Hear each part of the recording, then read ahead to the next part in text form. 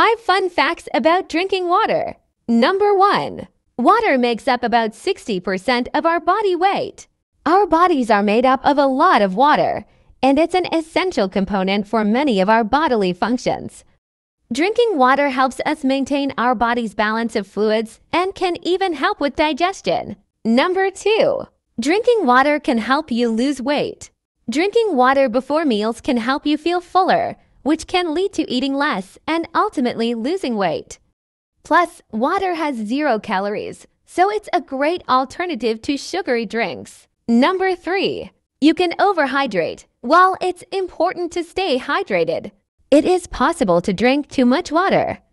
Overhydration or water intoxication can lead to serious health problems like seizures, coma, and even death. Number 4.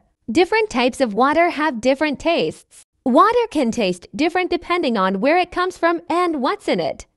For example, hard water has a higher concentration of minerals like calcium and magnesium, which can give it a different taste. Number 5. You can survive longer without food than water. While both food and water are important for survival, you can survive for much longer without food than you can without water.